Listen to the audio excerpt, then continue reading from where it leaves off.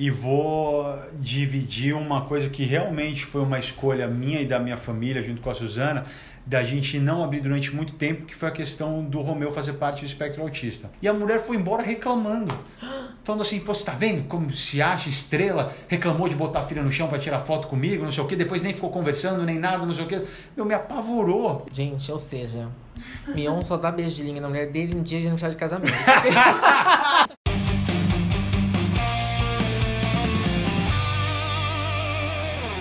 Sejam bem-vindos ao canal Tô Contigo e hoje estou aqui muito bem acompanhado de Marcos Mion. Tudo bem, Marcos Mion? Tudo ótimo, querido. Obrigado. Olha só, gente, o Marcos está lançando esse livro Pai de Menina. Poxa, é, para mim é, é, uma honra poder falar desse livro porque é um projeto, assim como o outro livro que eu escrevi, o Escova de Dentes Azul, focado para a gente conseguir criar uma geração melhor do que a nossa, entendeu? Uhum. E esse livro é exatamente focado nisso, é para os pais conseguirem ter uma relação com as suas filhas e conseguirem fazer com que elas sejam mulheres fortes, mulheres independentes, mulheres que não aceitam pouco e acima de tudo saibam que são amadas pelo pai acima de qualquer outra pessoa, assim, pondo a família em primeiro lugar, pondo os valores que interessam e que importam em primeiro lugar, criando mulheres com ética, com credibilidade, mais tolerantes, pessoas melhores mesmo, entendeu? Então é um livro que eu tenho muito orgulho porque eu sei que ele pode ajudar muitos pais. Então é isso, gente. Já teve, já teve o livro da Donatella, já teve o livro do Romeu, Romeu e vem aí Stefano, que eu já falei para ele como filho caçula, né, gente? A primeira coisa que eu disse, por que não veio o meu primeiro, né? Vai vir, vai vir. Mas bom, vai vir. o Marcos está aqui para participar com a gente do No Escuro. São pessoas famosas que fizeram perguntas sem saber quem as responderia. No caso, hoje será você. Então, você tem uma lista aqui de pessoas que tem, nós temos na lista. Aline Jones, Felipe Araújo, Hugo Bonemer, Juliana Schalk, Kiara Sasso, Me Viu Mentiu, que é uma banda, o Pericles, a Samantha Schmutz, o Sidney Magal e a Fá Morena. Ele vai escolher as pessoas e as perguntas virão que a partir eu não sei daí. quais são, eu não tenho não a menor sabe, ideia do que vem. ideia de quem Eu tenho que escolher, né? Sim, eu posso começar com o Pericão? Como você se imagina daqui a 10 anos? Como eu imagino daqui a 10 anos? É. Gigante. Mas, pelo amor de Deus, gente, incrível Hulk, o que, que, é isso? Você se imagina mais, mais de não, fato. Falei brincando, não, falei brincando. Eu me imagino muito mais forte. Bom, eu não posso falar, me imagino grisalho, porque, meu, minha barba me traiu antes do tempo, né? É, o cabelo Mas, também já tá grisalho. Já tá, já então tá. eu fui traído, eu sou mais novo do que eu pareço, tá? E sempre me perguntam, ah, eu não tenho mais do que 40 anos. Bom, Cara, lá. mas como eu imagino daqui 10 anos? Cara, eu quero se Deus me permitir, se eu conseguir, eu quero estar tá podendo me dedicar mais ainda à minha família, porque penso que, poxa, o Romeu daqui a 10 anos vai estar com 23, o Jonathan com 19, Stefano com 18, é uma fase que eu quero estar muito próximo deles. Quero poder estar ali para organizar, para poder ir buscar eles de pijama na balada, para eles passarem bastante vergonha. vergonha. Bom, próximo nome. Uh, vamos ver a Kiara. Fala a verdade. Seu beijo realmente é técnico em cena? Hum, vamos lembrar aquele período de ator, né? Eu fiz a novela, O Bicho do Mato, fiz teatro e o beijo é técnico. É de verdade. É de verdade, eu sei que tem uma. Já tem engolido Ué, gente. É verdade, porque tem uma galera que fala, ah, não, que beija meu, beija meu, beija meu. Mas eu, quando comecei, não sabia. Quando eu fui fazer minha primeira novela, eu não sabia, então eu conversei. Ah, você conversa como? Querida, põe a língua. Não, não eu, eu, eu, era muito já conhecido pelo meu trabalho na MTV, uhum. como apresentador, apesar de ser ator. Mas como ator, eu nunca tinha beijado em cena. Eu só tinha feito teatro até então. Do teatro eu fui direto pra MTV. E aí, quando eu fui fazer minha primeira novela na Record, Bicho do Mato, e, e a meu, meu par romântico era mulher do diretor ainda. E não dava. gente, não era técnico. Ou melhor, tinha que ser técnico é, mesmo. Eu falei, cara, e eu, eu cheguei e eu falei assim: olha, eu não quero fazer nada de errado. Então me explica como é que é, por favor. Eu quero manter o meu emprego. É lógico, eu não quero causar problema, porque bom, ele vai estar tá vendo na tela, em close. Então me explica como é, por favor. E aí me, me, me explicaram e é técnico mesmo. Que você não põe a língua. Que, que bota a boca assim, uma boca é, aqui, fica, e a língua você vai. Fica mole fica. assim, eu, eu, eu não me oponho no sentido de que, pô, quando você está contando uma história e, e você está dando vida a um personagem, poxa vida, é, sabe quando você vê aquela. Por, depende, eu acho que depende do momento da cena, do personagem, do que for, entendeu? Uhum. Você não pode, tipo, o cara que é casado, por exemplo, já tá chegando em casa, o cara vai casado há 30 anos, chegando em casa do trabalho com a mala depois do dia de estresse, não pode chegar em cena na mulher, pegar a mulher e blá, blá, blá, dar um beijão, que ninguém vai acreditar. Se essa novela é mentira, não tem como, mas a não ser que seja aniversário de casamento, senão isso não tá acontecendo. Ah, mas aí aquele casal que acabou de se conhecer na boate e tá indo pra uma noite que eles não querem mais saber de nada no mundo, não dá pra na hora que eles se encontram, tá, Fazer um beijinho que a língua vai pra dentro. Aí você vai olhar e falar, "Ah, isso não é verdade também. E eu acho que o ator tem que passar a verdade na, na cena que ele faz. Gente, ou seja, Mion só dá beijo de língua na mulher dele em dia de aniversário de casamento. Conclusão! Próximo. Ah, é mentira, viu, gente? Dou muito malho em casa, muito. Ah, Samantha, Vamos lá, Samantha Shimotz. Qual é a sua comida predileta? A minha comida mesmo que eu gosto de comer é comida japonesa. Ah, sushi, Ah, sashimi. tranquilo. Não é uma é. coisa tipo, você vai comer, você vai.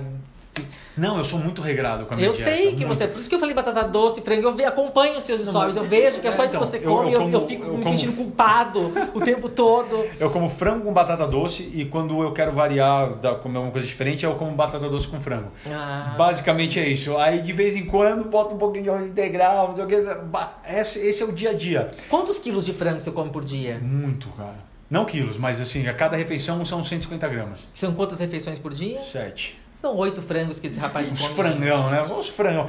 Você tem, tem vontade de comer chocolate, doce, essas coisas? Ou você não come, você não tem vontade? não, eu perdi Mas a vontade. antes de você é, é, ter esse novo li- lifestyle, você comia. Comia.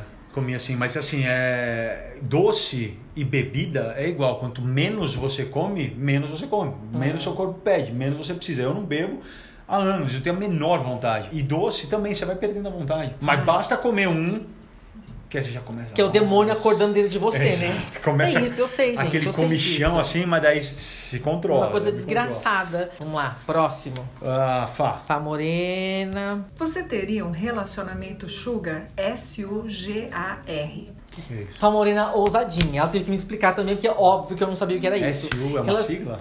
Não, é quando você aceita é, ser bancado por uma pessoa mais velha, Ah, mas assim, você não tá, tá, dando tipo- golpe do baú, a pessoa sabe Sim, que é você tá su- com sugar daddy, é, né, que fala. Agora eu Isso, entendi, olha é. lá o moderno, É. rapaz, né, gente? É. Você aceitaria? De jeito nenhum, pelo amor de Deus, não faz nem sentido. Tá e, e, tipo, e- e- nem eu sei, nem eu ter. Não- não- gente, isso não é relacionamento, isso não é amor, isso não é. É um negócio. Vamos Cara, lá, não- próxima. Sidney Magal. Como é que você se comporta e qual é o limite de tolerância que você tem para tanto selfie que a gente faz hoje em dia nos locais que a gente frequenta? Ah, e de, de- dos outros me pedirem? Sim. Cara, eu aceito e eu, eu Ótimo, vamos fazer atendo uma aqui todos. agora. Eu faço, faço todos, eu atendo todo mundo. Eu- Em eu- qualquer situação, em tipo, qualquer situação. é, você, tem, falar, você tem três filhos, imagina, segura um aqui, pega o outro ali, com aqui outro vem Mas alguém e pede uma no sempre. meio. E aí, já você faz vai? parte. Você faz sorrindo? Já faz parte. Ou você faz uma cara meio assim pra pessoa não querer fazer o segundo? Olha, eu vou te falar, teve uma situação que exemplifica bastante as- o que é isso. Eu tava na Disney com meus filhos e eu tava com a Donatella no colo. Tava com ela no meu colo, assim, andando, feliz da vida, feliz da vida. E aí chegou uma, uma pessoa e pediu pra tirar uma foto comigo. Mas assim, eu tava andando com ela, então a pessoa já fez assim, enquanto eu tava andando, me parou tal, não sei o que. Daí eu olhei, assustei, eu tava muito focado se eu e ela, um momento muito gostoso. Assim. Mas daí parei, olhei, ela falou, tira uma foto comigo. Aí eu, obviamente, eu tirei, né? Mas Naquela aí- situação. Não, mas pra tirar o que, que eu fiz? Eu falei, filha, depois a gente termina de conversar, eu vou te pôr no chão e vou tirar essa foto. Ou seja, já é uma quebra ruim, mas eu também sou artista, então eh, a, a- pessoa que pediu não tem culpa, a Donatella não tem culpa, a culpa é minha. Então eu botei a Donatella no chão, virei e tirei a foto com ela. No que acabou de, de tirar a foto, eu virei, peguei a Donatella no meu colo de novo. E a mulher seguiu andando. E a Suzana tava vindo. Aí a Suzana chegou pra mim e falou assim: Você tirou foto com, uma- com aquela mulher? Aí eu falei: Tirei. Eu falei: Não, deu vontade de me esganar ela. Que eu, eu tava. Ela viu a Suzana, a Suzana cruzou com ela. E a mulher foi embora reclamando. Falando assim: Pô, você tá vendo como se acha estrela? Reclamou de botar a filha no chão pra tirar foto comigo, não sei o que. Depois nem ficou conversando, nem nada, não sei o que. Meu, me apavorou. Então, assim, esse mundo da, do, do limite da selfie, assim, Depende muito de cada um, porque eu vou falar uma coisa. Tem gente que chega tão bem que você faz questão de tirar foto, parar, conversar, abraçar, porque a pessoa chega muito bem, chega super educada, ou esperou o momento certo de vir, respeitou você comer, respeitou você com sua filha, respeitou não sei o quê. Essas são as pessoas, cara, que você para, atende, conversa, abraça e tal, porque a pessoa chegou muito bem mesmo, entendeu? Já aconteceu de eu estar seis, sei lá, seis horas da manhã no hospital, ninguém tá no hospital seis horas da manhã por uma coisa boa. Eu sabendo, eu já fui de óculos escuro, boné, sabe, todos os sinais para falar assim, pô, me deixa que eu não tô num momento bom, tal, não sei o quê. E tava sentado assim e chegou Ei! Seis da manhã. Ei, tá aqui, é? Tá aqui, tá bem, vamos tirar foto. Aí eu falei, eu, ah, quem mandou ser famoso? Mentira. Agora levanta e tira. Essa frase, quem mandou ser famoso, é uma frase que as pessoas falam bastante. E na verdade ela não faz muito sentido, porque a gente, pelo menos eu e muitas pessoas da minha geração, a gente não quis ser famoso. A gente trabalha. E o nosso trabalho é enviado para milhares de pessoas que acabam nos conhecendo e querendo saber mais. E aí é um, não é, hoje em dia muitas pessoas querem ser famosas, né? Ah, independente do trabalho, às vezes não tem trabalho, é simplesmente famosa. Beleza. Próxima. Me viu mentiu. E viu? Mentiu. A gente quer saber se teve um momento na sua vida que você estava num lugar que não poderia estar e pediu pra alguém, não me vê, me viu, mentiu. A gente quer saber isso aí. Ah, cara, eu, eu assim, é difícil eu lembrar, mas eu lembro que lá atrás tinha uma época, né? Todo mundo teve uma época, né? Ah, me respeite, eu não tenho nada disso não, eu não tenho passado. Tô me esforçando pra lembrar porque eu nem lembro disso. pra mim, gente, eu nasci casado com a Suzana e eu nasci já com meus filhos. Eu não consigo lembrar do resto da minha É vida. muito louco isso, verdade. não é? Eu não que a gente consigo. esquece, a gente esquece completamente é, de como era a nossa não vida lembro, antes, cara. né? Então, eu agora. Você teve duas namoradas ao mesmo tempo? Que você precisou fazer isso? fazendo esforço. Pensa que eu, cara, eu comecei a trabalhar na TV muito cedo, com 17 anos. Então, toda essa parte dos 18, 19, 20 anos de idade, eu já era uma pessoa super conhecida. Então, muitas vezes eu não queria que tivessem me vendo naquela situação. Então, me viu, mentiu, já com certeza fez parte da minha vida em alguns momentos aí lá atrás, com certeza. Mas um específico eu não consigo lembrar de verdade. Ó, essa aqui é a Aline. Qual é o fetiche sexual que você já realizou? Essa eu vou me dar a- Ao o direito de, De pular, tudo é. bem. Eu devia ter dado falado no começo. Gente, você tem chance de pular uma pergunta, ok. Mas essa, eu, se essa regra não existe, nós inventamos criamos Nesse essa regra momento, agora. gente. Esse jogo a partir de agora tem a regra Mion, que todo mundo que participar pode pular uma pergunta. Essa postura tem a, a ver com o fato de tudo que a- a- é, possivelmente você venha a dizer é, fica marcado? Ah, ou porque você já falou em algum momento coisas que depois você falou, poxa, não devia ter falado isso? Não, tipo, essa pergunta eu nunca respondi na minha vida. Nenhuma vez que, Nunca que apareceu. fez? Não, já fizeram, mas Ah, eu bom. nunca respondi. É uma questão de criação, de respeito, porque eu sou casado, sou pai de família, eu não vou estar aqui falando sobre fetiche sexual. Imagina, depois meus filhos daqui a alguns anos É, entram no exatamente. E veem eu falando sobre fetiche sexual, isso não tem nada a ver, não é pra mim. Eu Mas acho- tenho certeza que tem muita gente que responderia e faz sentido, mas não pra mim. Vamos lá. Hugo, Ivete Sangalo ou Cláudia Leite? as pessoas querem me derrubar, né? Como é que pode uma pergunta? Ninguém, nenhum brasileiro pode responder essa pergunta. Eu vou ter que responder? A regra era poder pular uma pergunta, essa já é uma Meu Deus segunda. do céu. Olha, eu vou usar um critério por, por afinidade. coisa coisa de, de reality show, né? Olha, por afinidade. Eu conheço muito mais a Cláudia. De conversar muito mais. E ela foi muitas vezes no Legendários, muitas. E a gente tem uma amizade, uma admiração muito legal. Não que eu não tenha admiração pela Ivete, não existe um ser humano, um brasileiro que não tenha admiração total pela Ivete. Mas é uma, eu, eu falo, ao longo da minha vida, eu já tive com a Ivete menos vezes do que eu tive com a Claudinha. Então eu vou escolher a Claudinha. Pelo Pronto. critério de mais tempo juntos. Isso. é Ok. isso. Teve alguém que. Mas eu amo a Ivete, como todo mundo, óbvio. É. Então faltam só esses dois, né? Felipe. Qual é a pergunta que sempre fazem pra você numa entrevista? Você detesta responder, já se cansou de responder. Qual o seu fetiche sexual? Essa- Essa você cansou de não responder, responder, na verdade, né? né? Eu tô num momento de muita mudança, novos, novos assuntos, assim. Então as, as perguntas e entrevistas estão cada vez mais interessantes. Acho que com o tempo e com a idade estão me procurando para pautas e para comentar em cima de assuntos muito interessantes. Então, e diversi- diversificados. Então eu não sinto que tá rolando uma repetição a ponto de falar chega. Aê, gente! Isso acho que a Juliana. Juliana. Pode ser? Pode. Tem alguma coisa que você já escondeu muito, que você não queria contar pra ninguém e que hoje em dia você pega e fala: Nossa, por que, que eu escondi tanto aquilo? E vou dividir uma coisa que realmente foi uma escolha minha e da minha família, junto com a Suzana, da gente não abrir durante muito tempo, que foi a questão do Romeu fazer parte do espectro autista. Porque a gente não tinha total propriedade daquilo ainda. E eu sabia que no momento que eu falasse, eu ia automaticamente me tornar representante dos mais de 2 milhões eh, de famílias que existem no Brasil com crianças diagnosticadas. E eu precisava estar preparado para isso. Ah, então, foi uma coisa que a gente só falou quando a gente se sentiu dominando o assunto, tendo experiência com ele e também tem a questão da exposição dele, né? Obviamente que a gente levou muito em conta.